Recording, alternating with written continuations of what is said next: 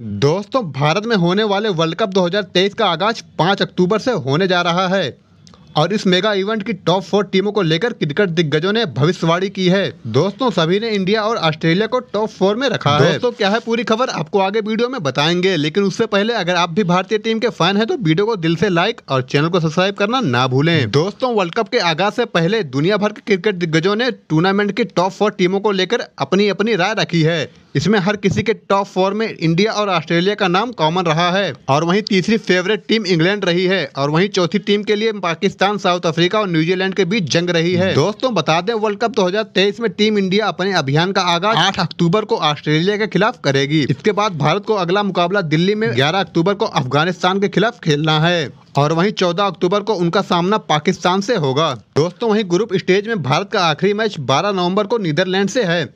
और इसी मैच से ग्रुप स्टेज का अंत भी है। दोस्तों, आपको बता दें, वर्ल्ड कप 2023 के ब्रॉडकास्टर स्टार स्पोर्ट ने अपने सोशल मीडिया पर एक वीडियो पोस्ट किया है, जिसमें उनके एक्सपर्ट सुनील गावस्कर, गौतम गंभीर, जैक कैली समेत दस दिग्गजों ने वर्ल्ड कप के लिए अपनी टॉप फोर टीमें चुनी है। दोस्तों, इस वीडियो में हम आपको कुछ दिग्गजों के टॉप फोर टीमों के बारे में बताने वाले हैं।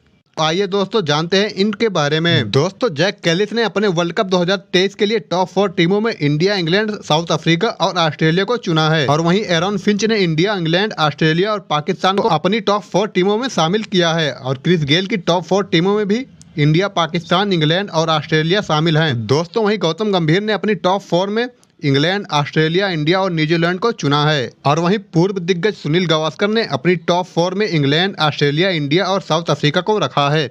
और दोस्तों, इरफान पठान की टॉप फोर टीम में इंडिया, साउथ अफ्रीका, इंग्लैंड और ऑस्ट्रेलिया टीम शामिल है। दोस्तों, आपको इन दिग्गजों में से किस दिग्गज की टॉप फोर टीमें ज़्यादा खतरनाक लगी, कमेंट में बताएँ। और वीडियो पसंद आई हो तो वीडियो को लाइक और चैनल को सब्सक्राइब करना ना भूलें। धन्यवाद।